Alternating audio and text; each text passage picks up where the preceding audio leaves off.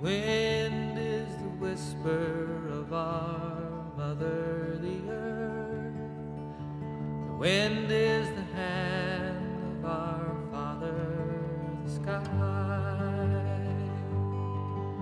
The wind watches over our struggles and pleasures.